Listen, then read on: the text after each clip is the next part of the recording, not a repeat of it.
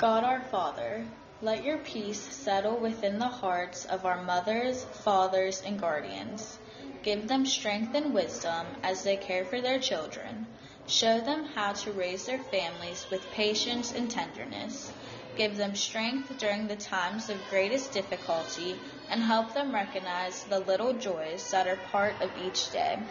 Bless also the students. May we grow in wisdom, understanding, and grace. May all members of our family deal safely with the current pandemic. We ask this in the name of Jesus Christ, who is one with you and the Holy Spirit, forever and ever. Amen. May the blessing of God be upon you. May God's peace abide in you. May God's spirit